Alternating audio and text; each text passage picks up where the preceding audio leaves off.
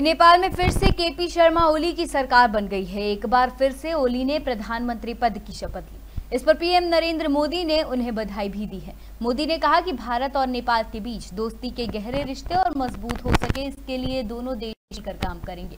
PM Modi ने tweet कर कहा कि हमारे दोनों देशों के बीच दोस्ती के गहरे संबंधों को और मज़बूत करने और हमारे लोगों की प्रगति और समृद्धि के लिए पारस्परिक रूप से लाभकारी सहयोग को और विस्तारित करने के लिए मिलकर काम करने को उत्सुक हूँ।